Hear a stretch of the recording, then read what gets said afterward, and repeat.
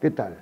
Eh, esta es una queja pacífica, una queja, en fin, con respecto a lo que pasa en Mendoza y a la vitivinicultura. Por ejemplo, este vino que tenemos acá es un vino, es uno de los vinos más ricos que yo he tomado en mi vida, fue el vino más rico que tomé en el 2020. Es un vino que eh, ya no se va a poder repetir. ¿Y por qué no se va a poder repetir? Porque las fincas las cosechas de, este vino, eh, la finca de esto ya pasó a ser un urbanizado. Se urbanizó la finca donde sacamos esta botella espectacular de vino exquisito. Eh, ahora, ¿por qué pasa esto? Porque eh, la urbanización va creciendo, Mendoza se ha duplicado en los últimos 30 años, sigue creciendo, mucha gente viene a vivir, a radicarse a Mendoza. Y la urbanización es imparable. Ahora, ¿qué pasa? Si nosotros prohibimos urbanizar el pedemonte porque tienen jarillas y destruimos las fincas de nuestros abuelos, de nuestros bisabuelos, de los, colonizadores de Mendoza, las seguimos destruyendo, estamos destruyendo la, las uvas del Malbec que nos hicieron tan famosos en los últimos 20 años. Mendoza es famosa por el Malbec y por su vitivinicultura, pero el emblemático es el Malbec.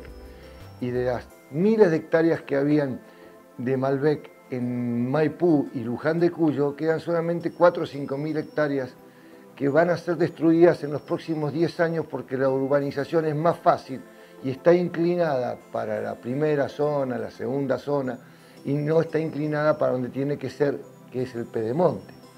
Eh, vivimos una irrealidad nos hicieron creer que la jarilla está en vía de extinción y hay jarilla desde Canadá hasta Tierra del Fuego. La jarilla donde pasás máquina vuelve a crecer, eh, crece lento pero crece eh, y se protege, hay una ley que protege la jarilla y no protege los viñedos y no protege los olivos. Es irónico pero es real, eso pasa acá en Mendoza. Acá en Mendoza pasa esto y va a seguir la tendencia si vos que me estás escuchando, que te gusta el vino, no reaccionás. No te pido que reacciones eh, con bronca, pero hay que hablar, hay que hacerle entender a nuestros dirigentes que la urbanización tiene que ser hacia el pedemonte y dejar las fincas del Malbec, de la vitivinicultura, de los olivos que producen toneladas de alimento, dejarlas para producir. Es un país que vos decís, yo no puede ser que pase esto en Mendoza y pasa en nuestro pedemonte. Nuestro pedemonte está sobreprotegido porque nos hicieron creer que la jarilla estaba en vía de extinción, que estaba en vía de extinción. Hace 30 años hay una ley que protege, no sé si 30 años, la jarilla y no protege la vid, no protege el olivo. Y la jarilla es plaga en toda la provincia de Mendoza, San Luis, San Juan, La Rioja, Catamarca, y vas para arriba y vas para abajo, Neuquén, Río Negro. La jarilla es plaga, el color verde que vos ves desde el avión, desde un dron, el color verde no es verde oliva, es verde jarilla. Y sobreprotegemos la jarilla, no queremos urbanizar el pedemonte, que hoy hay tecnología para eh, eh, urbanizarlo ecológicamente y dejar las viñas que sigan produciendo toneladas de alimento.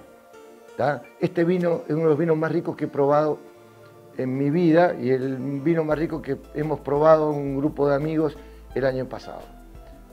Y ya no se puede repetir, porque solo Dios sabe de que fue urbanizada la finca y solo Dios sabe de la calidad de este vino, que es un vino espectacular, ya no se puede volver a repetir. Quedan algunas cientos de botellas y ya no vamos a poder disfrutar de vuelta de este vino porque la finca fue urbanizada. Mientras que los dirigentes municipales eh, den luz naranja y verde a la finca, que es más fácil urbanizar que, y poner luz roja en el pedemonte, vamos a destruir toneladas de, producción de alimentos si no, no, si no reaccionamos ahora. Pero esto no sirve con solamente que vos me escuches, sirve que vos te quejes.